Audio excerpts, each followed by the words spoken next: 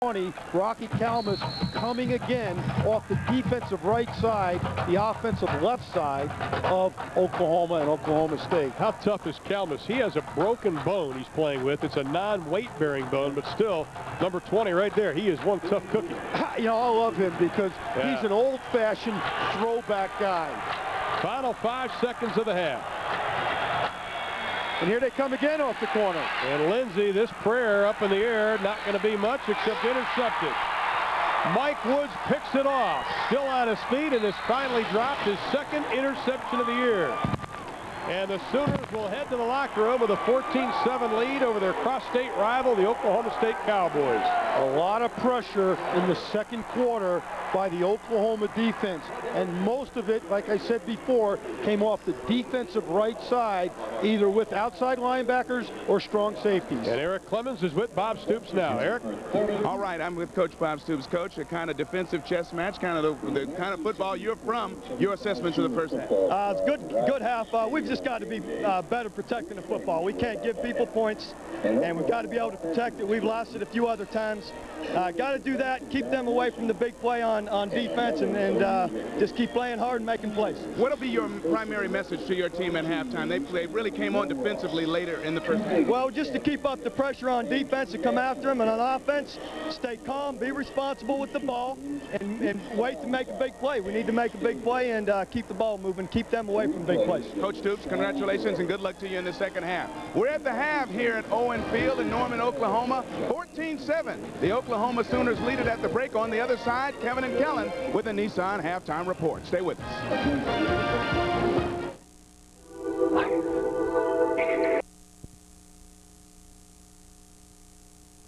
establish some tempo with their running game. It'll be interesting to see how this goes in the second half. So you lost double-digit leads in three of their four losses, and they received the second half kick up to the 20-yard line to the 25-yard line. It is Brandon Daniels, and that is where Oklahoma will take over, leading 14 to 7.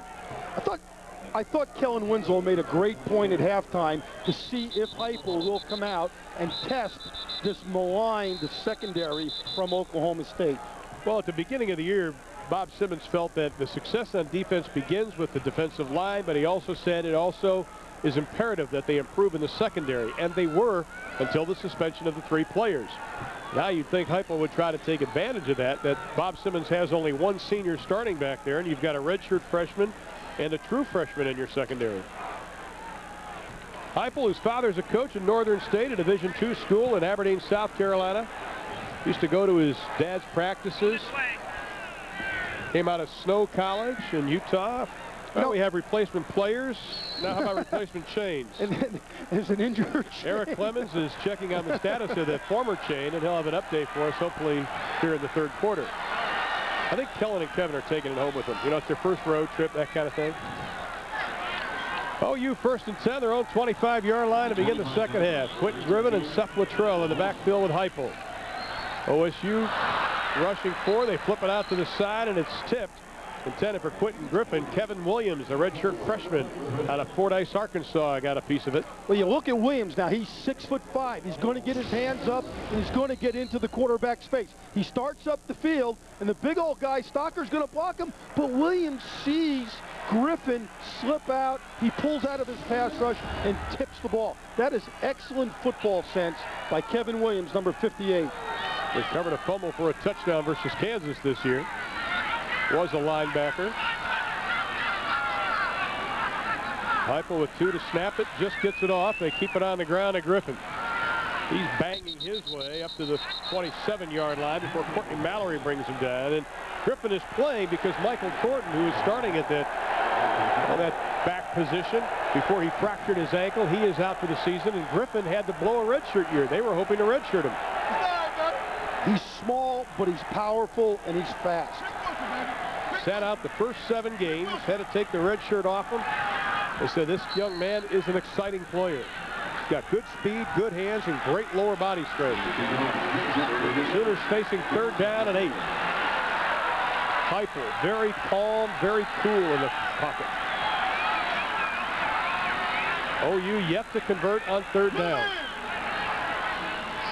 Oklahoma State brings a bunch of white jerseys. Good protection. Heupel has a man. Goodbye. Touchdown, Curtis Fagan.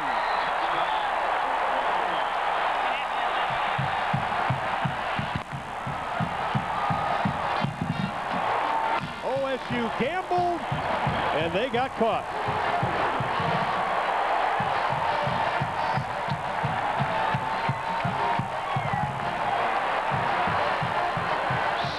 73 yards for Curtis Fagan, a redshirt freshman out of Katy, Texas. His second touchdown reception of the year.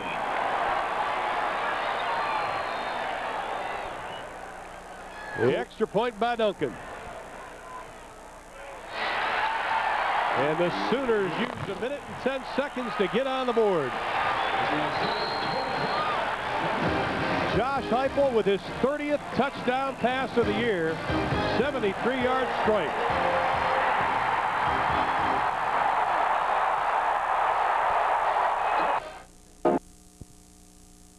And that's the state capital of Oklahoma here in Oklahoma City, just to the north of Norman, Oklahoma, where the Sooners have taken a 21-7 lead as we are early on in the third quarter. Reggie White, Jamal Fobbs, and Marcus Jones this man didn't like the noise.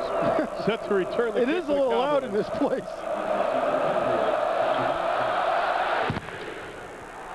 Line drive kick. And it will sail out of bounds and a penalty flag will be thrown.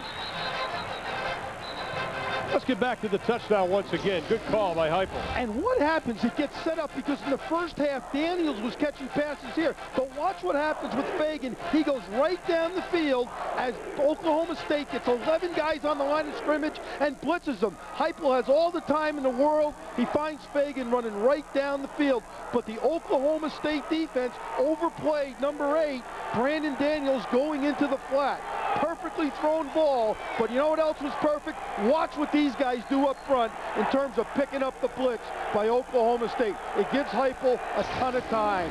Well executed play. And a timely one at that.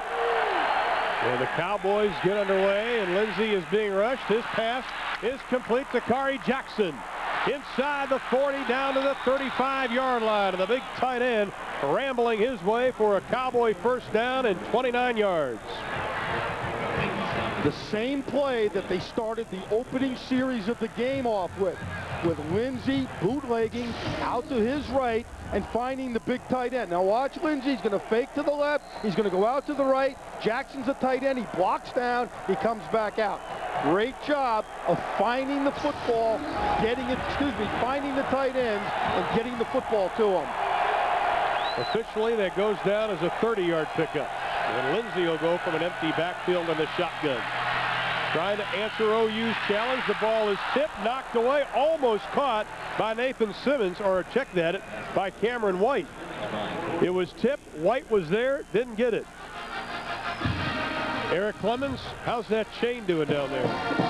Well, Ron, the chain is undergoing a surgical procedure that involves at least a couple of wire cutters. It's a serious procedure, but I think he'll be able to recover in time and get back in action before the end of this ball game. I thought chains were supposed to be strong. huh? Of course, that Apparently chain, not this. Yeah, no way, man. The chain is a senior playing in its last game. Lindsey on the draw leans forward, and Oklahoma is right there to cover him up. Nothing doing. Ryan Fisher, a junior out of Arlington, Texas, and Rocky Calmus there to make the stop. Quarterback draw, as you said, out of an empty formation, but Calmus coming off the corner, slowed down a little bit, and tied up Tony Lindsey. We know when Tony Lindsey gets loose, he can do tremendous damage running the football, but not so fast that time. You sense the momentum here, Ron, going towards the Sooners. That's Lindsey's ninth carry, and he has only four yards. That is containing Tony Lindsey. And it's an empty set again, and look for the pressure from the outside backers. Third down and nine. A quick look into the tight end. Khari Jackson is incomplete.